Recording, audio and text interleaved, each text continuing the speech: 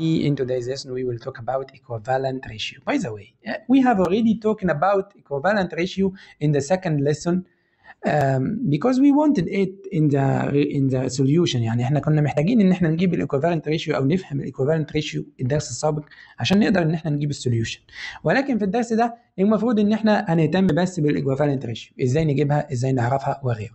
ال equivalent ratio سهلة جدا. إحنا بنجيبها بكل بساطة. إحنا لو عندنا ratio مثلا for example any ratio like ممكن أنا أجيب مثلا 6 over 9 دي ratio ماشي؟ أنا عاوز أجيب equivalent ratio لهذه ال ratio إزاي أعمل الكلام ده؟ بكل بساطة أنت تقدر تعملها بإحدى الطريقتين يا إما تعمل multiplication فوق وتحت أو تعمل division فوق وتحت. فوق وتحت. بس يكون نفس الرقم. يعني أنت يا إما تعمل multiplication يا تعمل division بس يكون نفس الرقم. فتعالوا نجرب الأول ال multiplication مثلا لو هو هات لي اثنين equivalent ratio لهذه ال ratio فهتعمل إيه؟ بص بكل بساطة هنقوم قايلين هنضرب فوق وتحت في 2 for example وال ratio اللي هتطلع دي هي ال equivalent بتاعتي. فأنا أقول 6 times 2 equal 12 9 times 2 equal 18 ال 12 over 18 equal ال 6 over 9 yes هما الاثنين equivalent ratio تمام؟ يبقى إحنا كده جبنا واحدة. طب عايزين نجيب واحدة ثانية تكون equivalent ليهم برضو. ممكن نقوم جايين واخدين ال 6 over 9 ده أهي. هنحطها زي ما هي.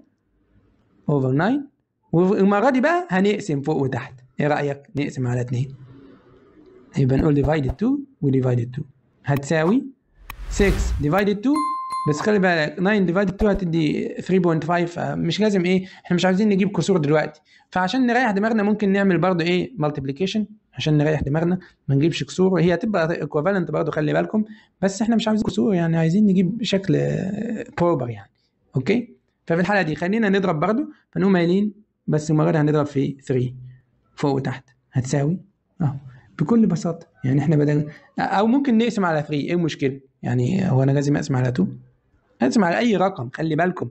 أنا شوف أنا بديكم الأفكار دي كلها الأفكار بتجيلي أهوت وأنا بتكلم معاكم. فأنا هقسم على 2 فأنا أقول divided بس مش 2 بقى divided 3 ليه؟ عشان تدينا رقم صحيح كده. divided 3 فهتساوي. هنا divided فهتساوي هنا برضه divided 3 6 divided 2 divided 3 هتساوي 2 9 divided 3 هتساوي 3 بس كده؟ بس كده. يبقى أنا عندي 2 over 3 وعندي 12 over 18 over 18 وعندي 6 over 9 ال 3 equivalent أيوه 3 equivalent يعني أنا أقدر أعمل كده؟ 2 over 3 equal 12 over 18 over 18 yes أقدر أعمل كده. ثانية إيه اللي أنا كتبته ده؟ over 18 يبقى أنا عندي 12 over 18 بتساوي 2 over 3 بتساوي 6 over 9 الثلاثة equivalent بيساووا بعض بكل بساطة. تمام؟ تمام. طب أنا ممكن برضو إيه؟ لو أنا بسطت ديت إيه هتوصلني لديت في الآخر؟ يعني ال simplification بيوصلنا للايه لل ratio اللي أنا عاوزها أو إن أنا أصغر ال ratio هي equivalent في الآخر برضه فإذا عشان أعمل equivalent ratios أو أجيب equivalent ratios بعمل حاجة من الاثنين يا إما بقسم فوق وتحت على نفس الرقم أو بضرب فوق وتحت في نفس الرقم. بس كده. شكرا لكم إحنا كده خلصنا الدرس بتاع النهارده. أشوفكم الدرس القادم. والسلام عليكم.